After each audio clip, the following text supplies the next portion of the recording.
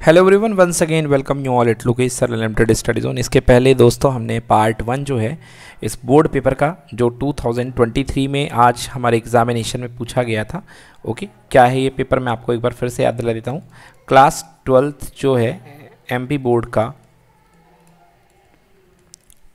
2023 का मैथ्स का पेपर चल रहा था ओके इसका पहला पार्ट मैंने आपको करा दिया था ऑब्जेक्टिव क्वेश्चन अब मैं आपके सामने सेकेंड पार्ट लेकर के आया हूँ। अब हम लोग इसका जो दूसरा भाग है, वो करने जा रहे हैं। देखिए क्वेश्चन नंबर सिक्स क्या कह रहा है? टू मार्क्स का। ए दिया वन टू थ्री बी दिया है four five six seven and F equal to one four two five three six है। ए से दे के बी तक एक फलन है तो सिद्ध कीजिए कि एफ़ एक एक एक ही है। ये मैंने कल ही सैंपल पेपर में आप लोग को कराया था। ये सैंपल पेपर थ्री का क्वेश्चन है। तो देखिए क्या है, इसमें आपको मैपिंग बनानी है। ये ए लेना है और ये आपको लेना है बी और ए में लेना है आपको वन टू थ्री और बी में लेना आपको फोर फाइव सिक्स सेवन देखिए क्या कनेक्शन है? वन फोर से कनेक्टेड है। ओके टू फाइव से कनेक्टेड है और थ्री किससे कनेक्टेड है? सी सी से कनेक्टेड है। आपको यहाँ पर लिखना पड़ेगा, चूँकि ए के ए का प्रत्येक अवयव बी के बी के केवल एक के साथ संबंधित है। अतः एफ़ कहाँ से कहाँ तक ए से लेके बी तक कैसा फलन है? एक एक ही फलन है। फलन है। ये आपको बताना था इस पार्ट में। चलिए तो ये भी हो गया, पहला पार्ट इसका हो गया। दूसरा इसका समुच्चय जो लोगों ने ये वाला पार्ट किया, उनके लिए बात कर लेते हैं। जाँच कीजिए कि समुच्चय one two three four R one two two two one one four four जो है, वो प्रदत्त संबंध स्वतुल्य तथा संक्रमक है, परंतु सम्मित नहीं है। मतलब आपको जाँच करना है कि ये क्या है? स्वतुल्य है संक्रमक है और सम्मित नहीं है। तो देखिए कैसे बात करते हैं स्वतुल्य, यहाँ पे कैसे हम शो करेंगे? स्वतुल्य के देखिए देखिए यहाँ पे आर के जो आपके पास सेट है सेट को ए मान लीजिए सेट के अंदर क्या दिया है? वन टू थ्री फोर है। ओके तो वन कॉमा वन एग्जिस्ट कर रहा है टू कॉमा टू एग्जिस्ट कर रहा है थ्री कॉमा थ्री एग्जिस्ट कर रहा है, ये देखिए, और फोर कॉमा फोर भी एग्जिस्ट कर रहा है। मतलब यहाँ पर वन कॉमा वन भी है टू कॉमा टू भी है थ्री कॉमा थ्री भी है फोर कॉमा फोर भी है। ओके तो मतलब कि वन कॉमा वन भी है belongs to R, 2 comma 2 belongs to R, 3 comma 3 belongs to R and 4 comma four belongs to R मतलब कि इस सेट का दिए गए सेट का प्रत्येक अवयव जो है क्या कर रहा है? खुद के साथ रिलेशन बना रहा है। इसलिए ये कैसा होगा? ये स्वतुल्य होगा। अब बात करते हैं संक्रमक की ओके? तो देखिए आपको जो उपस्थित हैं उनमें संक्रमक की जोड़ी देखी जाती है। तो यहाँ पे वन टू है ओके okay, और टू के साथ टू शुरू हो रहा है तो इसके साथ एक ही पेयर बन गया वन टू टू टू अब देखो वन के साथ कौन बन रहा है? वन के साथ कोई नहीं बन रहा क्योंकि हाँ वन के साथ ये बन रहा है तो इसका भी कोई दिक्कत नहीं है। आप फोर फोर है वन थ्री है थ्री टू है है ना? और देखिए थ्री थ्री थ्री टू तो ये थ्री टू आ गया and one three three three pair कर जाएगा तो वन थ्री तो वन थ्री बन रहा है। हाँ तो क्लियरली देखिए यहाँ पर हर एलिमेंट के लिए ये कैसा है? संक्रमक है। ये कैसा है? सभी के लिए क्या है? संक्रमक है। ठीक है ना?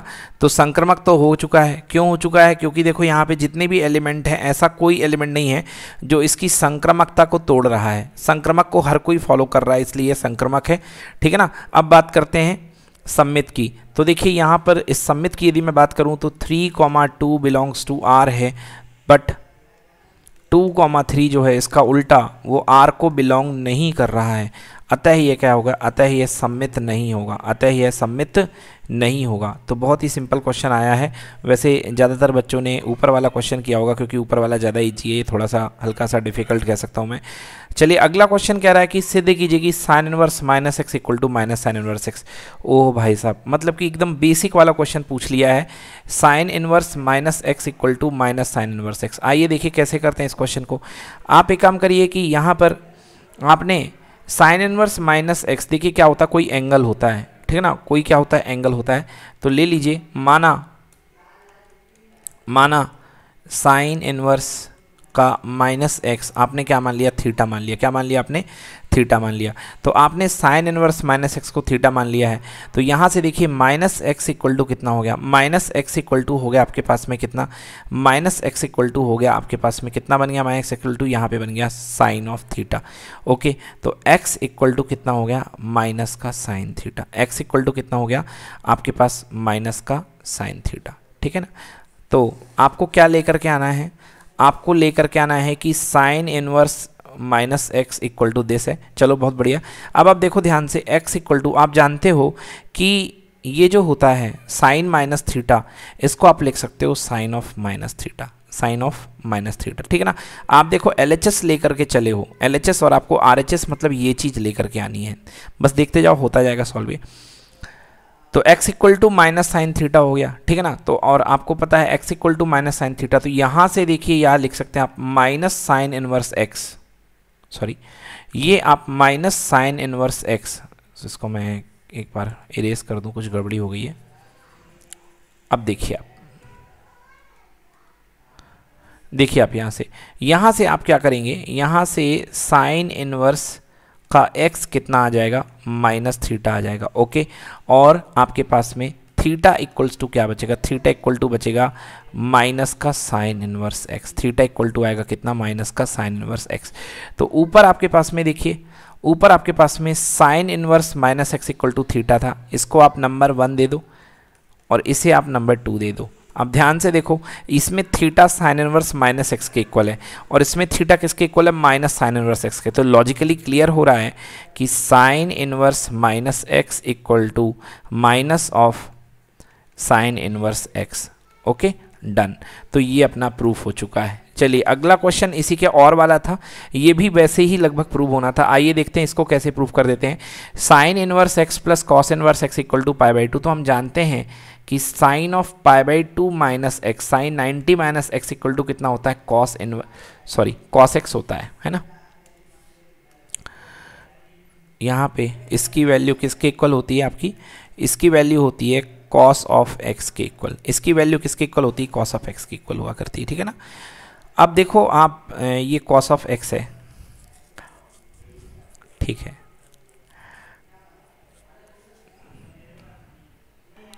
ओके देखिए तो इसको कैसे सॉल्व करेंगे आप? यहाँ पे एक्स इन्वॉल्व हो रहा है तो आप एक कम, एक एक कम करो। मैं इसको इंडिपेंडेंटली सॉल्व करता हूँ तो आपको समझ में आएगा।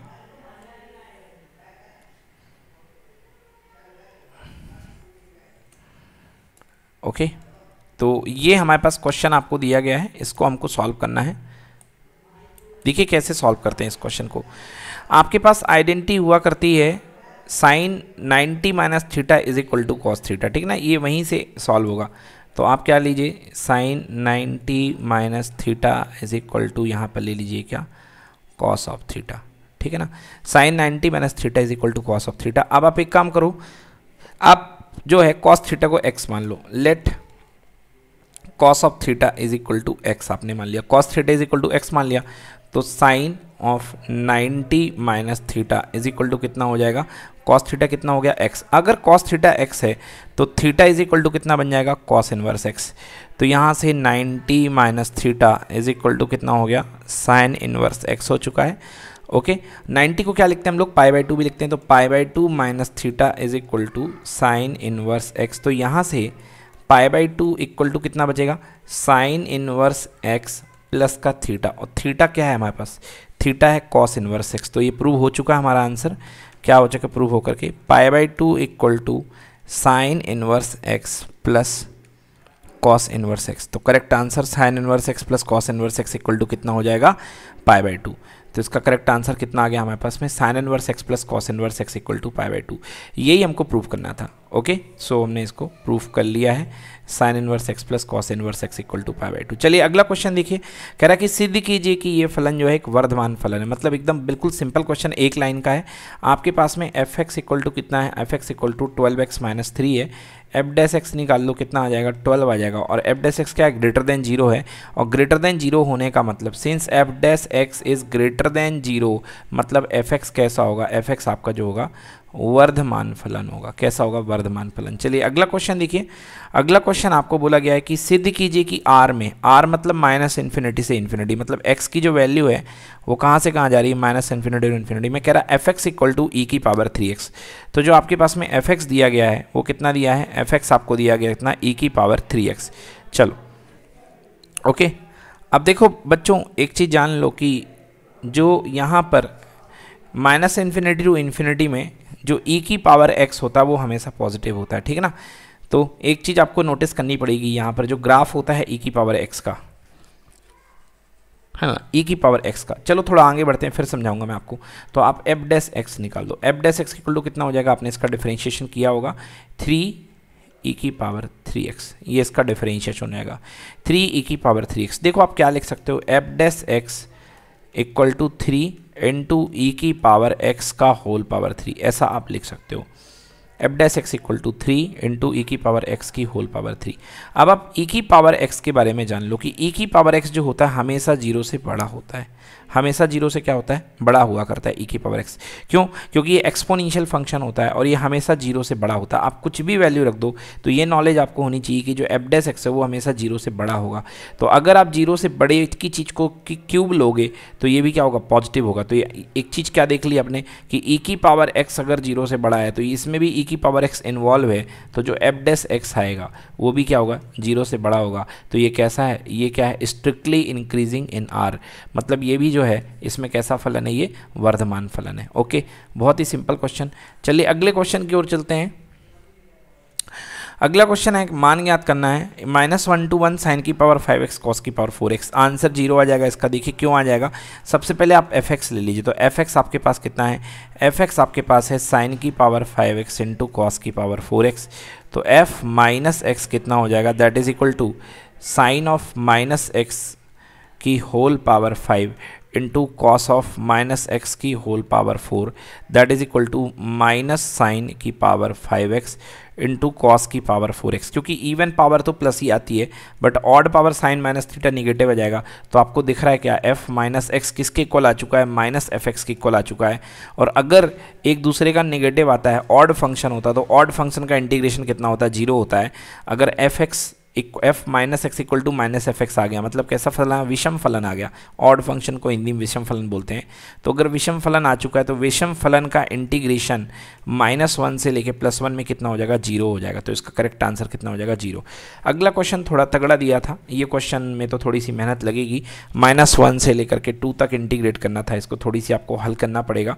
ओके तो यहाँ पर तो मेहनत लगेगी बट ये वाला तो क्वेश्चन बहुत ही आसान है। तो जिन लोगों ने किया होगा, आई हो पहला ही वाला पार्ट कर दीजिए, दूसरे पे जाना ही क्यों? दूसरा वाला थोड़ा सा डिफ़िकल्ट है और मॉडुलस की प्रॉपर्टी का इस्तेमाल करके करना पड़ेगा। मैं दूसरा वाला पार्ट बता देता हूँ। देखिए, दूसरा वाला पार्ट कैसे करेंगे, उसके लिए थोड़ा सा आपको चलना पड़ेगा स्टडी कॉर्नर पर चलिए देखते हैं, दूसरा वाला क्वेश्चन कैसे करते हैं। यस ये देखिए, ये क्वेश्चन है। माइनस वन से लेके to mod of x cube minus x तो मॉडुलस फ़ंक्शन को सबसे पहले हम अंदर वाली चीज़ को हमको ब्रेक करना पड़ता है। ओके तो अंदर वाली चीज़ इसकी कितनी है?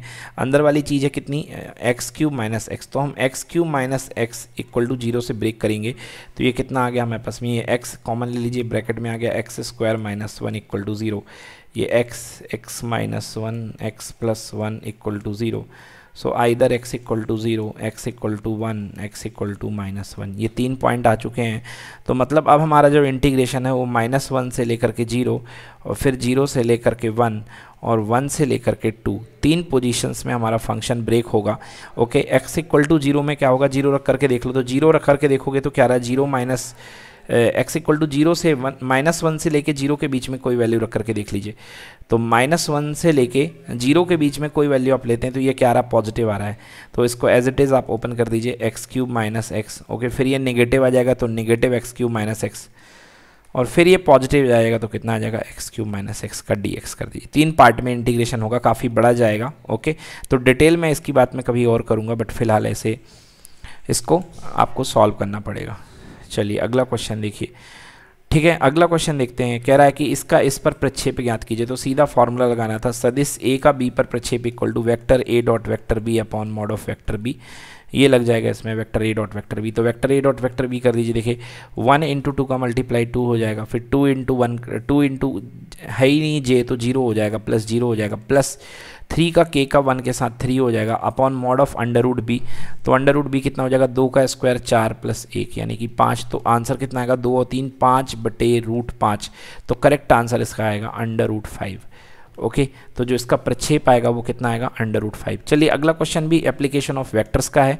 उस समांतर चतुर्भुज का क्षेत्रफल ज्ञात कीजिए, जिसकी भुजाएँ इतनी दी गई। तो आपको याद होगा कि समांतर चतुर्भुज का क्षेत्रफल होता था mod of a cross b okay? इसकी जो भुजाएँ हैं, क्या होता था? Mod of a cross b. तो आपको इसमें ए क्रॉस बी का क्या निकालना है? क्रॉस प्रोडक्ट निकालना है, उसका मॉडुलस ले लेना है तो आपके पास में आंसर आ जाएगा। ए और बी का आप क्रॉस प्रोडक्ट निकाल लीजिए और उसका मैग्नीट्यूड ले लीजिए तो आपके पास में आंसर आ जाएगा। चलिए, अगला देखिए, क्या है वक्र y equal to x square और y इक्वल टू फोर वक्र y equal to x square कहाँ जाएगा? ऊपर की तरफ़ जाएगा, क्योंकि y की पावर सिंगल है, और y इक्वल टू फोर मतलब ये जाएगा इस तरीके से। तो y की वैल्यू ज़ीरो से लेकर कहाँ तक जाएगी? फोर तक जाएगी, और अब आपको निकालना है इसका क्षेत्रफल। तो बेटर रहेगा, आप इसको y एक्सेस में निकाल दीजिए। ओके? तो इसका कैसा बनेगा आपके पास में? ये बनेगा x d y x d y दो गुना कर दीजिए क्योंकि कुछ एरिया इधर भी है और कुछ एरिया इधर भी है। तो एक्स डी वाई और लिमिट क्या लगा दीजिए? ज़ीरो से लेके फोर तो ये हो जाएगा टू टाइम्स एक्स की वैल्यू यहाँ से कितनी हो जाएगी? अंडर रूट वाई एक्स की वैल्यू अंडर रूट वाई क्यों आएगी? क्योंकि x square equal to y है। तो एक्स इक्वल टू कितना हो गया? अंडर रूट वाई और यहाँ पे डी वाई आ जाएगा। और वाई की लिमिट कितनी लग जाएगी? ज़ीरो से लेके फोर और ज़ीरो से लेके फोर में इसको आप क्या करिए? इंटीग्रेट कर दीजिए। तो आपका आंसर आ जाएगा। चलो मैं थोड़ी सी मदद कर देता हूँ। टू, देखो ये हो जाएगा वाई की power three by two upon कितना हो जाएगा? Two by three okay one plus one by two अब इसके बाद लिमिट लगा दीजिए कितनी है। टू बाई थ्री है। हाँ और इसके बाद लिमिट कितनी लगनी है आपके पास में? यहाँ लिमिट लगनी है ज़ीरो से लेके फोर ठीक है ना? तो ये कितना हो गया? फोर बाई थ्री अब देखिए फोर की पावर थ्री बाई टू यानी कि फोर पे मैंने फोर रूट फोर यानी एट आ जाएगा और माइनस कितना ज़ीरो तो आंसर इसका कितना हो गया? थर्टी टू बाई थ्री तो जिन लोगों का answer thirty two by three आया है, वो बिल्कुल सही है। चलिए, अगला क्वेश्चन देखिए, इसके, ये वाला हो चुका है। इसके बाद है, अगला क्वेश्चन है y square equal to four x और एक्स इक्वल टू थ्री तो ये क्वेश्चन मैंने आप लोग को कराया था। और सैंपल पेपर नंबर फोर में ये क्वेश्चन मैं आपको कराया था। Y square equal to four x और एक्स इक्वल टू थ्री ये लाइन जाती है आपके पास में। Okay x equal to three तो बहुत ही सिंपल क्वेश्चन है। आप यहाँ से क्या निकालेंगे? इसका एरिया कितना निकलेगा? ज़ीरो से लेकर के थ्री तक का एरिया और वाई इक्वल टू कितना हो जाएगा? अंडर रूट फोर एक्स यहाँ पर हो जाएगा डी एक्स ठीक है ना? तो under root four x d x four का रूट कितना निकल आएगा टू है ना? टू निकल आया ज़ीरो से लेकर के थ्री और ये कितना हो जाएगा? रूट का एक्स और यहाँ पे डी एक्स टू फोर का रूट टू निकला है टू रूट का एक्स डी एक्स अब आप इसके बाद ज़ीरो से लेके थ्री में आप इसको इंटीग्रेट कर लीजिए, इसका समाकलन कर लीजिए, वही आपका आंसर बन जाएगा, ठीक है ना? चलिए, अगला क्वेश्चन देखिए अगला क्वेश्चन कह रहा है कि इसका व्यापक हल लिखना है। तो सबसे पहले इस समीकरण को थोड़ा सा अच्छे टाइप से लिख लो। तो एक्स का भाग दे दो तो एक्स का भाग दे दो तो बन जाएगा d y by d x plus two upon x और साथ में क्या हो जाएगा वाई और इक्वल टू कितना हो गया एक्स स्क्वायर तो देखिए, ये लीनियर बन चुका है, किस फॉर्म का बन चुका है? ये बन चुका है d y by d x plus p y equal to q के रूप का समीकरण बन चुका है, लीनियर ने रैखिक समीकरण बन चुका है। अब रैखिक इसको आपको हल करना है तो क्या करोगे? सबसे पहले इंटीग्रेटिंग फैक्टर, समाकल गुणांक निकालोगे ई e की पावर पी डी एक्स तो पी कितना है? टू अपॉन एक्स और यहाँ पर कितना आ जाएगा डी एक्स तो ई e की पावर ये टू बाहर आ जाएगा और ये कितना हो गया? लॉग एक्स ठीक है ना? तो आप इसको क्या लिख सकते हो? इसे लिख सकते हो ई e की पावर लॉग एक्स का स्क्वायर क्योंकि टू जो है एक्स की पावर में पहुँच जाएगा। लॉग से ई e कैंसिल हो गया, केवल क्या बच गया? एक्स का स्क्वायर अब आपको निकालना है इसका हल। तो इसका हल कैसे देते हैं? देख लो, याद कर लो। Y into integrating factor is equal to integration of q into integrating factor d x plus c okay so y multiply by integrating factor कितना आया है? X square equal to integration of q. Q कितना आया आपके पास में? Q आपके पास में आया है। यहाँ पे आपके पास में q कितना आया है? सॉरी इंटीग्रेटिंग फैक्टर आपका एक्स स्क्वायर था, सही है? और q आपके पास में कितना है? Q आपके पास में x बचा है। देखिए, यहाँ पे एक्स स्क्वायर अपॉन एक्स हो गया था ना? हाँ मैंने गलती कर दी है। तो यहाँ पर केवल आपके पास में क्या बचेगा? X बचेगा। है ना x square upon x that is equal to x तो यहाँ पे एक्स हो जाएगा और ये हो जाएगा एक्स स्क्वायर और यहाँ d x plus c so y into x square equal to x cube हो जाएगा एक्स क्यूब का इंटीग्रेशन कितना हो जाएगा एक्स की power four upon four plus c ये आंसर आपका आ जाएगा, ठीक है ना? ये आपका आंसर आ जाएगा, बहुत ही सिंपल क्वेश्चन है। चलिए सेवनटीन का पार्ट नंबर बी देख लो। बहुत सारे बच्चों ने पार्ट नंबर बी भी किया होगा। कैसे करेंगे देखो? डी वाई के नीचे वन अपॉन वाई स्क्वायर ले जाएँगे और ऊपर डी एक्स ले जाएँगे और क्या कर देंगे? वन अपॉन एक्स स्क्वायर कर देंगे, दोनों तरफ़ इंटीग्रेट कर देंगे तो d y upon one plus y square कितना हो जाएगा? ये हो जाएगा टेन इनवर्स वाई और ये हो जाएगा टेन इनवर्स का एक्स प्लस कितना? सी तो ये इसको सॉल्व कर लोगे तो ये हो जाएगा tan inverse y minus tan inverse x equal to कितना हो जाएगा? सी तो टेन इनवर्स इसको हल कर दीजिए तो y minus x upon one plus y one plus x y इस कुछ तरीके से इक्वल टू सी को आप क्या लिख सकते हो? सी को टेन इनवर्स सी लिख दो। टेन से टेन कैंसिल हो जाएगा। आंसर आ गया Y minus X upon one plus X Y equal to C तो जो लोगों ने ये आंसर लिख के आए उनको फुल मार्क्स मिल जाएँगे, कोई दिक्कत नहीं है। यही इसका करेक्ट आंसर है। ठीक है ना? ओके अगला समीकरण क्वेश्चन नंबर हाँ फोर मार्क्स का क्वेश्चन आ गया। देखिए, बातों बातों करते करते पता ही नहीं चला, कब हम लोग दो मार्क्स से तीन मार्क्स और तीन से चार मार्क्स की ओर पहुँच गए हैं। ओके चलिए देखिए, चार मार्क्स का क्वेश्चन कह रहा है, कह रहा है समीकरण को हल कीजिए। तो इसको समीकरण में देखिए, यहाँ पे टू एक्स बन रहा है, यहाँ भी टू एक्स बन रहा है, यहाँ भी टू एक्स बन रहा है। तो क्या करो, इसमें एप्लीकेशन लगा दो। क्या लगा दो? C one tends to C one plus C two plus C three अगर आप ये एप्लीकेशन लगाते तो X plus X plus X कितना हो जाएगा? देखिए थ्री एक्स प्लस ए और ये भी कितना हो जाएगा? ये हो जाएगा थ्री एक्स प्लस ए और ये भी कितना हो जाएगा? ये हो जाएगा थ्री एक्स प्लस ए और यहाँ पे बचा है एक्स यहाँ पे बचा है एक्स यहाँ पे बचा है आपके पास में कितना? एक्स प्लस ए और यहाँ पे बचा आपके पास में कितना एक्स और यहाँ पर आपके पास में बचा है एक्स और यहाँ पर बचा है X plus A equal to zero अब आप यहाँ से three X plus A common ले लें। थ्री एक्स प्लस ए आपने क्या ले लिया कॉमन तो आपके पास क्या बच गया? वन वन वन यहाँ बच चुका आपके पास में एक्स यहाँ एक्स बचा है। यहाँ पर एक्स प्लस ए और यहाँ पर एक्स और यहाँ पर एक्स और यहाँ पर एक्स प्लस ए ठीक है? अब आपको क्या करना है? देखिए अब आपको जो है लगातार आप दो जीरोस बनाने की कोशिश कीजिए। दो ज़ीरो आप लगातार बनाएँगे तो आपका आंसर फिर इसको खोल कर खोल देंगे तो आपके पास आंसर आ जाएगा। देखिए दो ज़ीरो हम बनाते हैं। कैसे बनाते हैं दो ज़ीरो? हैं? दो ज़ीरो आप कैसे बनाते देखिए। आपके पास में आप एप्लीकेशन लगा दीजिए। कैसे एप्लीकेशन लगाएँगे आप यहाँ पे कि C two C two tends to C two minus का सी वन और C three tends to C three minus का सी वन ये एप्लीकेशन लगा दीजिए। तो यहाँ पे कितना आ चुका है? थ्री एक्स प्लस ए और C two tends to C two minus C one ये है वन ये है एक्स ये है एक्स और सी टू में सी वन वन में से वन गया ज़ीरो एक्स प्लस ए में से एक्स गया ए बचा, ये भी ज़ीरो हो चुका है। यहाँ पे वन में से वन गया, ये भी ज़ीरो हो चुका है। एक्स में से एक्स गया ज़ीरो और यहाँ पे कितना एक्स प्लस ए में से एक्स गया तो कितना बचा आपके पास में ए बचा है। ठीक है ना? अब आप इसको कुछ नहीं सिंप्लीफाई कर दीजिए, आपके पास आंसर आ जाएगा। तो थ्री एक्स प्लस ए है ये। ओके? और सिंप्लीफाई कर देंगे तो किसके रिस्पेक्ट में? कॉलम वन, यानी पहली कॉलम के रिस्पेक्ट में, पहले स्तंभ के रिस्पेक्ट में ये सिंप्लीफाई हो जाएगा। तो कितना बचेगा? ए इंटू ए ए का स्क्वायर माइनस का कितना हो गया? ज़ीरो हो गया है, ओके? तो देखिए, आपको क्या आ रहा है? ये ये आ रहा है ए स्क्वायर आ रहा है और थ्री एक्स प्लस ए आ रहा है इक्वल टू ज़ीरो तो दो चीज़ों का प्रोडक्ट ज़ीरो तो या तो ये ज़ीरो होगा या तो ये ज़ीरो होगा, यानी ए इक्वल टू ज़ीरो तो ए इक्वल टू ज़ीरो कह रखा है कि ए ज़ीरो के इक्वल नहीं हो सकता तो फिर अपने पास यही बचा ज़ीरो होने के लिए मतलब कि three X plus A equal to zero so I can write three X equal to minus A तो एक्स इक्वल टू कितना हो गया? Minus A by three okay done तो इस तरीके से ये क्वेश्चन हो जाएगा। अगला क्वेश्चन बहुत ही मस्त है, बहुत आसान तरीके से हो जाएगा ये क्वेश्चन देखिए, इसको क्या करना है? इसमें आपको लगा देना है simple C one tends to R one tends to लगाना है आपको। R one plus R two plus R three ये आपको ऑपरेशन लगा देना है। फिर इसके बाद ये कॉमन आ जाएगा आपके पास में और आपका ये सॉल्व हो जाएगा। नहीं बनेगा तो ज़रूर कमेंट में मुझसे पूछ लीजिएगा। ओके और और इसके बाद ये जो क्वेश्चन आया है, अगला क्वेश्चन नंबर ट्वेंटी वन दोस्तों, ये तो थोड़ा सा थ्योरेटिकल टाइप का है तो इसको आप लोग को छोड़ देना था। इसके बाद आपको करना था साइन एक्स स्क्वायर का एक्स स्क्वायर तो बहुत ही सिंपल है। साइन एक्स स्क्वायर का पहले आप इसको वाई वन ले लोगे Y one equal to sine X square का ओके और फिर आप वाई टू ले लोगे, क्या हो जाएगा एक्स स्क्वायर और दोनों को आप इसको D Y one upon D X कर देना। कितना आ जाएगा cos X square into two X हो जाएगा, और नीचे D Y two by D X मतलब कितना हो गया ये?